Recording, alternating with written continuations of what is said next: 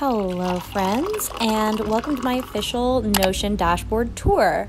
And before you stop me, I know it's February, but oftentimes, when a new year rolls around, I find it a cluttered space to try and plan in January, and it typically does take me about a month to settle into a routine after the holidays. And so, as a result, February for me is a great time to dig into my planning and cast aside any goals that may have been impulsive. So, if you are interested in following along on my Notion tour and seeing how I plan out my goal setting and task management system, then please please just keep on watching. so one thing I know for sure, one of two things is gonna happen when you finish watching this video. Either one, you're gonna walk away saying, wow, what a powerful organizational system and I can't wait to see how it'll change my life. Or you're gonna walk away thinking, wow, that's a really powerful organizational system and this girl kind of went off the deep end trying to tame the beast. The purpose of this video is not to amp you up in the midst of a pandemic, but rather to instill some calmness and certainty in what you can control rather than what you cannot control. It's not lost on me that planning for the future right now is insanely daunting, it's unpredictable and emotional. So with that said, I want to introduce you to a system that has had my back the last few months. This system has allowed me to track my well-being, my habits, and my personal goals. I've taken great care and a lot of time researching and designing it to fit my needs. And while it is still a work in progress, it is something that brings me a sense of calm and great joy when I do use it. Maybe you can design something or adapt what I've designed and other creators have designed into something that works for you. Let's just dive right into the Notion tour here. Okay, so welcome to my digital brain, which is my Notion workspace. I discovered Notion in early October and I quite literally went for a massive deep dive into its functions and features. So you may be asking, what is Notion? It has been described before as Google Suite on steroids. It pulls functionality from Trello, Asana, Monday, Todoist, and all the other productivity software that you may already be using for organizational purposes. So I have adapted most of my Notion templates from various creators like Thomas Frank and Jules Acree to suit my needs. I will be providing some public templates with pages that I've added my own spin to. They will be linked in the description box below, so make sure you check those out. Please note that this is largely, largely inspired by Jules Acree. She is the YouTuber who first introduced me uh, via her video tour of Notion, and she showed me all that it can offer. So let's just talk quickly about Notion and why creatively it's very fulfilling. So this is kind of what it looks like at a glance. You can make Notion as simple or as extravagant as you want. The three dots in the top right hand corner allow you to customize the page. There are three different font styles that you can choose from. I typically gravitate towards the default because it is easiest to read in my opinion. Also usually gravitate towards small text, but you can toggle these on and off if you want larger text. There's also uh, full width, so if you want larger margins, you can toggle this off, but I usually leave it on. Each page allows you to add an icon of your choice. You can use an emoji or you can upload one from the web. And then there's also cover images, which allow you to personalize your page even more. You can upload your own image, or you can link to an image on the internet, or find a stock image using Unsplash here. So here you can see I have a header called At a Glance. This just has today's date and time. It also has a quote that I really love, the weather for where I am. I also have a widget that shows a view of my Google Calendar at a glance. Essentially, Notion allows you to create endless pages within pages. So all of these links here are pages, and within those pages, you can create even more pages. My dashboard lists are typically pages that are productivity and task related. I have a personal header which contains areas of my life like gratitude practices, journaling, and fun, more personal stuff. I have a bunch of lists on the far right. I also have my Spotify playlist that I typically listen to in the mornings while having my morning coffee here. I have documentation that includes health records and taxes. And then on the far right, I have my growth list, which contains my workout tracker, any courses I'm taking, book notes, etc. I have some more words that I live by. These are just gentle reminders when I start to get stressed. And then I also have images and a little GIF here. I do have a work list as well, but in the interest of privacy, I'm not going to be showing those today. Let's get into some of my favorite most used pages. I am diving off the deep end with my task manager here, so if you are more interested in simplicity, skip ahead to the mark I've indicated on the screen, please. All right. So, pardon my French, but this is my Getting Shit Done dashboard. It is originally coined by David Allen. It is called the Getting Things Done dashboard. Essentially, it's his method of scheduling and organizing tasks. So, the way it works is it is a task manager with many at a glance views of your upcoming tasks. The way I've set this up is with one big master table that contains all of my tasks, and then essentially what this page does is filters these tasks in different ways. So we'll start with the first section, which is called the inbox. It's essentially a dumping ground for tasks that have come into your life. I will input new tasks here. As you can see, I have one on the go, and then I will assign it a database. If it has a parent project, I will assign that as well. I'll give it a due date, check whether or not it's high priority, I will give context, whether it's high energy, low energy, or an errand. Often I'll give a duration for the task. This one may take 45 minutes. I'll select a status, and then there are also notes. And then once I'm done filling in all the information, I will capture the task. So typically what will happen throughout the day is I'll think of a task that I need to do. I will quickly jot it down here and leave this. Then I'll come back later and fill in the nitty gritty details and then capture it when I'm ready. So you've heard me say the word capture a few times now. And what capturing does is file the task away where it belongs in the various views I've set up below. Capturing does not delete the task, let me be clear, but rather it sorts it depending on the date that you've set.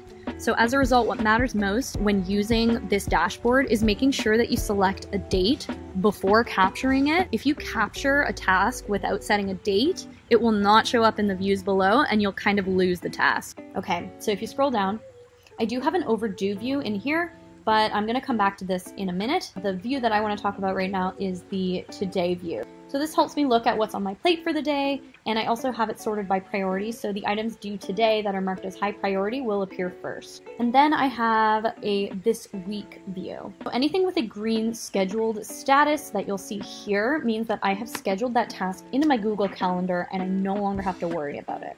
Hopping back up to the overdue view, this will make a little bit more sense. Anything that I miss is always shown in my overdue view. I find this view is absolutely essential in jogging my memory and not forgetting things. Ideally, I don't want anything landing in here, but it does happen. If I find an item that keeps ending up in the overdue table, sometimes what I'll do is I'll reassess, you know, do I have time to complete that task? Is there anything I can do differently in my approach to that task? And I'll sometimes do what I like to call bumping. This is when I select the bump status and clear the date. So I'll show you what that looks like. So say I wanted to film a trailer for my YouTube channel. This is something I wanted to do. I realized that, you know, after a while, it's not getting done. Even though I schedule it, it ends up back in my overdue table. Uh, what I'll often do is I'll click bumped and then I will clear the date so that essentially it will get off of my plate for this week, but it will still be captured below in my upcoming table, which I'm about to show you next. So I'll clear the date and you'll see that it disappears. You scroll down now. This upcoming view will show me anything coming up in the next month, excluding this week, so that I don't have duplicates from this week showing up in upcoming. This also captures any task that I've marked as bumped and removed the date. This way, when I look ahead at what's on my radar, I can reschedule these bumped tasks as needed according to what fits into my schedule. I have a quick view of my Google Calendar on the left here. If you scroll down from there, I also have a hidden toggle with a view of my completed tasks and these have different views over the past week, 30 days, or a year. As you can imagine, there are so many different ways to filter these tables depending on what you prioritize. Some people might want a view that shows only high priority tasks, or perhaps you even want to see tasks that are under 30 minutes in duration, things that you can quickly do first thing in the morning and they won't take very long. You can use these table filters to create such robust systems that show what you want to see at a glance, and that is why Notion is so powerful. Okay, so let's get out of my GSD dashboard and get into the more fun goal setting for the year. I'm going to take you into my yearly planning dashboard. You might wonder, how might this be different than my GSD dashboard? And here is how I'll explain it. So, my Getting Shit Done dashboard is my all things week to week task manager. It allows me to manage things on the fly and it's designed for capturing tasks as life happens. My yearly planning dashboard is meant for high level planning in alignment with my goals that I've set up for the year. Here is where I'll think hard about what I want to focus on this year. In 2021, for example, we'll visit that year. My word for the year I kept coming back to was community. I felt as though, especially during a pandemic and moving across the country, nurturing a sense of community is what kept my spirits high during my lows. All right, so that brings us to our word of the year for 2022. The word that I've chosen is alignment. I want everything, both small and big, to align with my values and with my true self. Now that I've chosen my word, this can help to inform the goals that I set for myself this year. So here below, you can see I've made a table with all of my goals. I've assigned quarters in which I would like to complete this goal. I've also assigned the goal's status. I've indicated whether it's a personal or professional goal. I have any relevant notes written here. I will go into more detail on this column here and how it populates, but essentially any tasks in this column are tasks that I've created that will support the pursuit of this goal. So now that I've assigned quarters for my yearly goals, I can actually go into each quarter here and break down in which months I want to work towards the goals. So you can see here that I have a block. This is actually a synced block so that when I go into the month, I can actually see my Q1 top priorities. It is supposed to be top three, but I've added a few more as you can see. There are some nice to haves here. If we go into January, this is the same block that you saw in my quarterly view. If I, for example, want to get back into my four to five times a week exercise routine, I will break that down into a smaller sub goal or sub task. So I know in order to hit that goal, I want to coordinate an energy exchange with, with a barre studio when I get to Kelowna. And then I also want to complete one Hustle challenge. Hustle is my online Pilates studio. These two tasks directly support attaining my goal of getting back into a regular exercising schedule. And this honestly just gets more and more granular. When you scroll down, you can actually see that I have weekly planning views as well. These are some of the stuff that you've already seen in my GSD dashboard. But say I also want to reach out and coordinate the energy exchange what you can do is you can drag and drop this into the task manager, but I actually like to make a duplicate because I want to keep this view here and be able to tick it off at the end of the month. So I'm just going to duplicate this, I'm going to drag it down into my task manager. And then I also will fill in all of the nitty gritty details here. Go into my GSD dashboard, you will see that that task that directly supports my goal has been filed into here as well and I just need to capture it, either here or back in my yearly planning, whatever works. Okay, let's move on to something a little bit more fun. My content map is essentially for my blog and my YouTube channel. We're gonna go into my gratitude reflections. So this is where I keep my gratitude practices. Each morning, I like to start my day by writing down what I'm grateful for. Sometimes I still prefer writing them by hand, but this has been a time saver for me lately, and it's just something that I've settled into in my routine. I can pop it open fill in the date. I'll set my mood because oftentimes I like to track my mood day in, day out, see what the common theme is. Day I am happy. and then what I'll also do is I'll set a reminder. I'll turn on the time so that I have a reminder to come back to this page for my evening assessment. And then I will set the reminder to be at the time of the event and I have some templates set up here, so I will click the gratitude assessment. As you can see, I have an AM assessment that I'll fill out in the morning and then a PM assessment. Let's hop into self-care. I typically only visit this page once or twice a year. It's just a space to write out my ideal mornings and evenings. Now we're gonna go into the dashboard that Matt and I share. So it's kind of a little mini dashboard that I've created for us. We've only just started living together in the last year or so, Plus, Matt doesn't personally use Notion other than for this specific dashboard. I hope to flesh it out a little bit more, but for now I keep any packing lists, um, any shared finances. I have a link to my recipes here that he might want to access.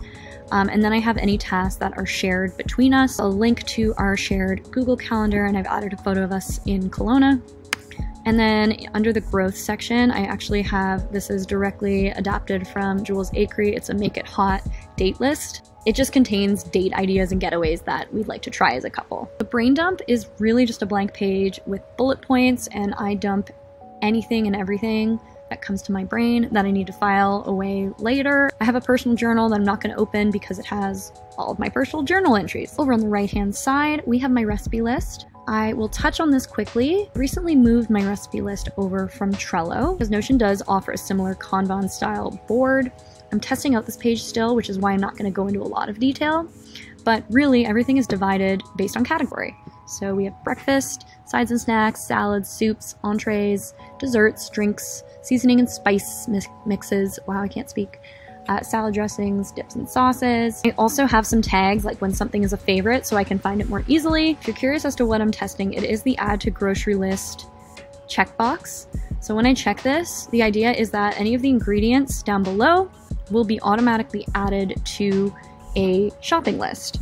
Uh, so if I go here, then you will see that all of the ingredients from the Thai cauliflower bites that I just added to my grocery list will now appear here. So I've sorted this all by aisle so that it makes the shopping process a bit easier. I will share the preliminary template, but not with the ingredient testing I'm doing just yet. I need to make sure it's finessed before releasing it. So then I have a wish list and a gift list. The wish list, I really recommend going and visiting Jules Acrees. She has a template set up and this is essentially just pulled from hers. The gift list just has a list of gifts that I want to give to friends and family, so I'm not going to open it because I know some of them watch this. This is my watch list, and I'll briefly touch on this, but again, Jules Acree, check her out. This is her template. She has a great tour on her channel of this page, and mine is adapted directly from hers.